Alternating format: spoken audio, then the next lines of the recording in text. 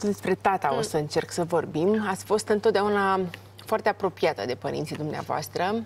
Nu ați ascuns și nici acum când mi-ați vorbit um, faptul că atât adolescența cât și copilăria v-au fost marcate de caracterul dur al tatălui. Mm. Vă citez. Tata ne-a crescut pe mine și pe fratele meu cu foarte multă severitate. O încasam dacă eram neastâmpărați. Mm, tata nu vă permitea să ajungeți târziu acasă și nu accepta să aveți rezultate slabe la școală. Ați făcut la un moment dat o mărturisire cu tremurătoare, chiar și acum ați vorbit despre acest lucru. Țipa la mine și de frică am făcut pe mine. Primeam chiar și o palmă câteodată, dar asta m-a ajutat și m-a format să înfrunt viața. Aș vrea să-mi spuneți dacă această frică de tata v-a marcat în vreun fel relațiile cu bărbații. Urmează întrebarea, când nu v-a mai fost frică de tata? Bine, am crescut... Uh, era, tata era foarte sever. Cred că în viața lui m-a altoit de două, trei ori. Nu e că mă bătea sau... Dar și cu un sens, nu așa că îi venea lui. Uh, trebuia să am, să registrez uh, primul disc de la Elect Record. Noi suntem viitorul, primul disc în care a cântat un copil uh, și uh, tata a venit de la birou, obosit, uh, lucra cu mii și mii de muncitori la trus de construcții și uh, uh, să facem repetiție. A, nu mai știam textul. Și tata s-a supărat, s-a enervat, dar cum ai de mâine avem de înregistrat, ai un lucru important de făcut, de ce nu știi textul? El credea că am fost să mă joc, dar mă culcasem după amiază că mi-era somn. Și uh, atunci am altoit și, și mi-a spus, niciodată în viața ta să nu uiți că ai îndatoriri de făcut. Și când ai ai un lucru de făcut, nu există nimic ca să te joci, să te culci, trebuie să-ți faci până la urmă temele de făcut. Deci, într-adevăr, uh, a fost foarte sever. Dar această severitate, cum am spus și mai înainte, m-a ajutat foarte mult și m-a călăuzit în viață. Uh, lipsurile sau severitatea lui m-au ajutat să apreciez mai mult atunci când ai multe lucruri, să respecti când ai mult, să nu arunci și să, să nu-L zicnești pe Dumnezeu când ai mult, să mulțumești și să ai grijă. Uh, Tata a fost un om sever, dar îi mulțumesc. Iar eu vreau și pe copilul meu, oricât ar avea, oricât... V-ați fi dorit ca tata să fie mai cald cu dumneavoastră? Da, da. Acum, când era mai în vârstă, îl simțeam pe tata că ar fi avut nevoie să-l îmbrățișez, să-i spun, tati, te iubesc, tati, mi-e dor de tine. Mi-a fost foarte greu. Dar în ultimii ani, când mă simțeam mai matură, am început să-i spun, să-l îmbrățișez și să-l pup. Aș fi dorit să fie asta și când eram mai mică. Dar... Dar când ne vom reîntâlni acolo sus, îți jur, tati, că o să te țin numai în brațe.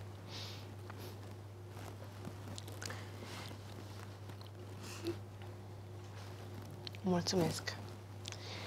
Pot să am un ceai turcesc? Ca să Trecem de momentul acesta? Trecem după ce trecem printr-o întrebare roșie. A, de când o așteptam! Silueta perfectă, și o spun din tot sufletul meu pe care o afișați astăzi, nu duce pe nimeni cu gândul la faptul că ați fost un copil grăsuț. Ați povestit că mama vă obliga să urmați un regim alimentar strict, alcătuind o listă cu alimentele pe care aveați voie să le mâncați. Și singurele momente de răsfăț erau în vacanțe când mergeați la bunicii din partea tatălui, vă citez. Bunica și mătușa mea aruncau lista cu ce am voie să mănânc, îmi dădeau de toate spunând așa, trebuie să crească fata. Când o să fie mare, o să se îndrăgostească și o să slăbească ea.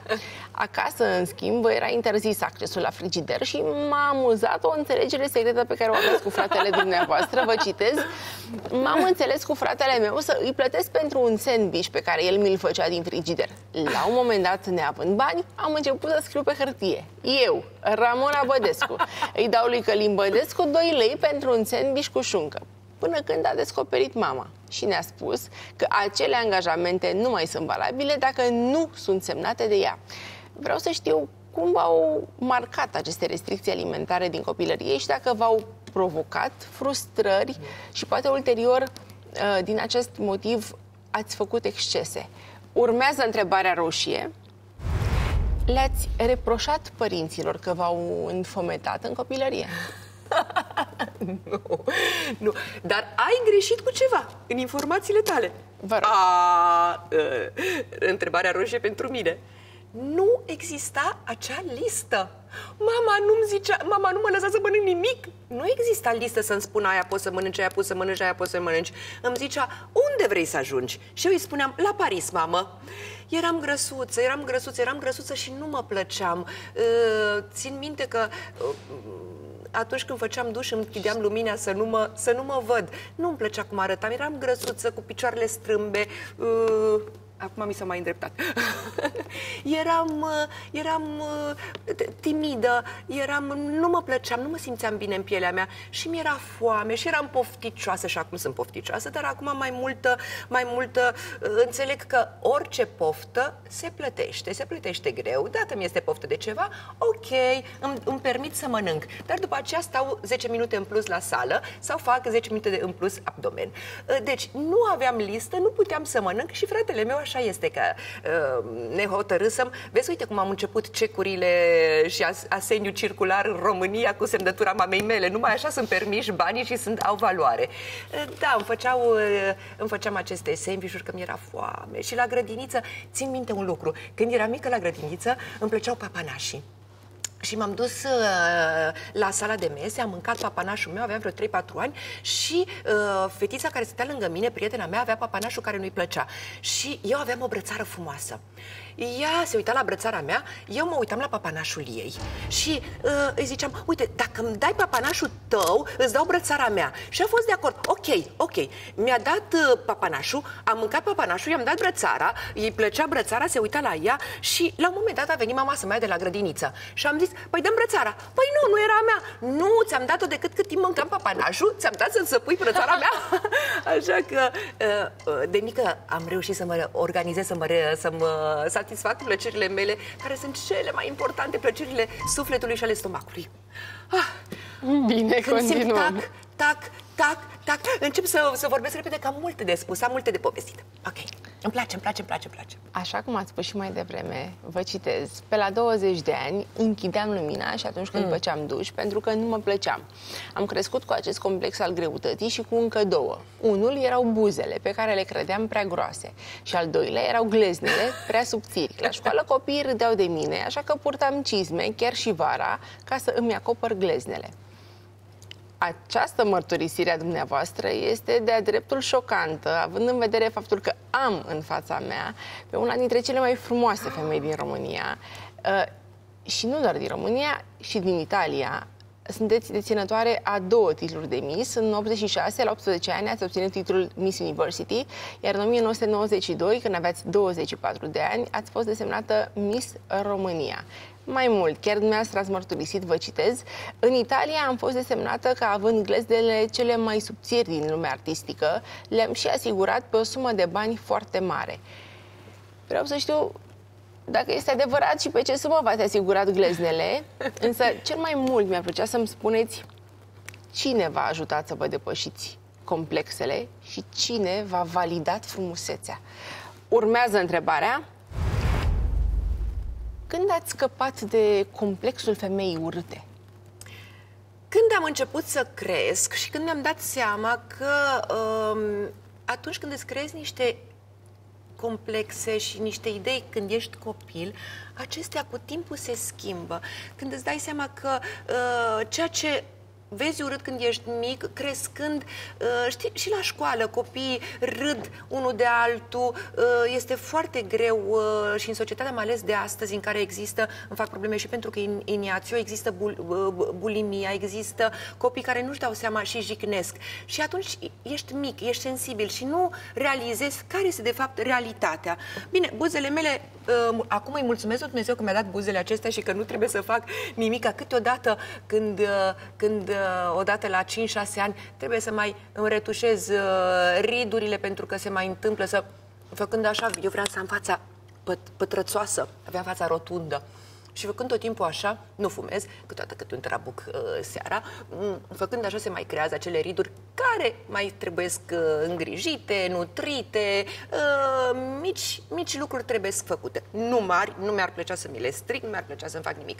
Gleznele... Uh, mi le-a dat Dumnezeu foarte subțiri și mi-a dat un picior mic, 37. Trăiesc pe picior mic, așa că țin să te anunț.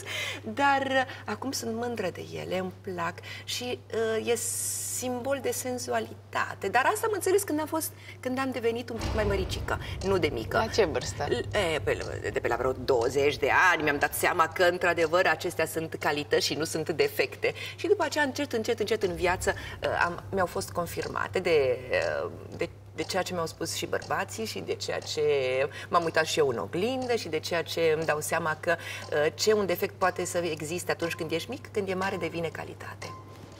Bine. Mulțumesc. Continuăm cu o întrebare roșie.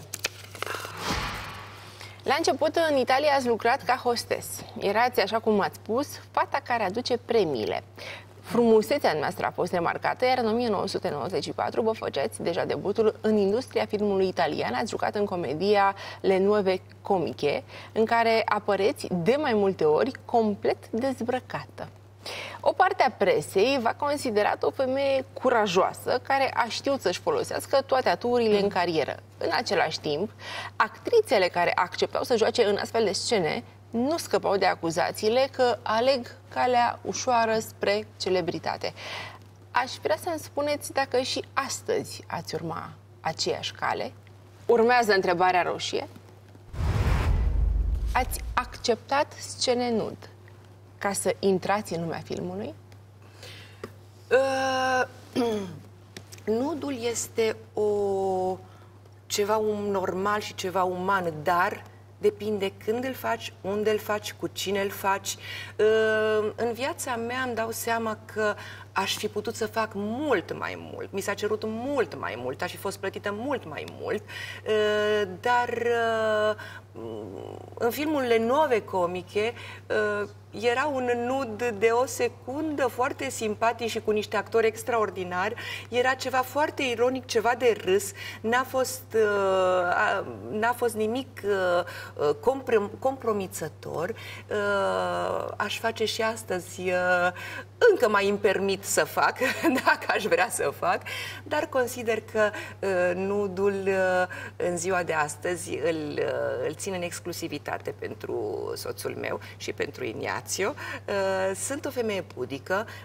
N-am făcut uh, multe nuduri în viața mea decât în nove comice, care, uh, repet, a fost un film comic cu Pozzetto și Paolo Villaggio. Era ceva foarte ironic, așa că nu m-a compromis în mentalitatea mea de a fi pudică, mai ales că mă gândeam tot timpul la părinții mei ce zice, ce zice lumea, ce, ce zice mama, ce zice tata. Dar a fost o alegere alegere făcută cu... și nu a fost acela primul film, a fost uh, Parenti Serpenti, Mario Monicelli, uh, la Sulmon am filmat uh, și nu, n-a fost, eram casieră. Deci singurul lucru a fost lerove comice. Îmi permit, într-o carieră de atât de lungă, să fi zis că am făcut, dacă acesta îl numești nud, să fie un nud. Bine.